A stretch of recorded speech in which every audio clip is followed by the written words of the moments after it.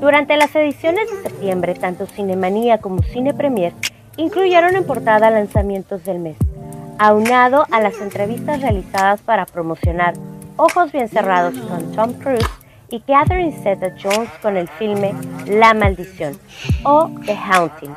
Este fue un remake de The Haunting of Hill House de 1963.